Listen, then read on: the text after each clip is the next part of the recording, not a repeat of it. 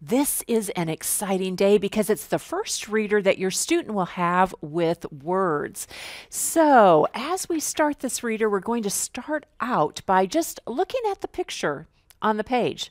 And I'll ask discussion questions. Then I'll give your student a purpose for reading. For example, on this page, I might say something like, uh, read this sentence to yourself to find out what hopscotch sees.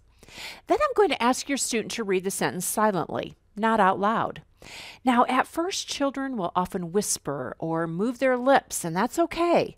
This silent reading time gives them a chance to exercise their decoding and reading comprehension muscles, and it might be slow at first.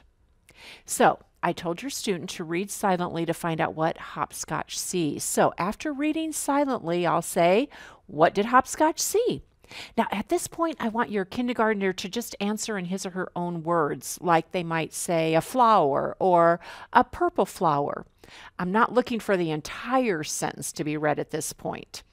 Then, after we discuss the flower and discuss that just a little bit, then we'll read the sentence out loud. So it will be, It is a flower. Then, after reading, we'll do some predicting about what will happen next. What do you think Hopscotch is going to see next on his walk through the yard? Well, in this reader and the next, I'm going to give time in the lesson for your student to read silently. But beginning with reader 5, I'm going to add this slide. This will show what sentences to be read silently.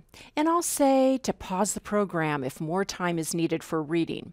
Just a reminder that your student should be reading from the reader and not reading off the screen.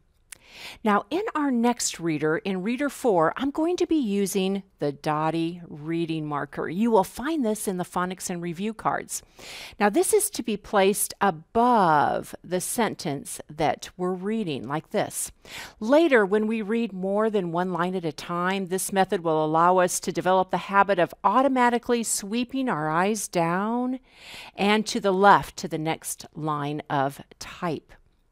So, as you read the reader with your kindergartner, I would encourage you to practice the words at the end of the reader before you start reading. So, again, at the very end is the words at work page.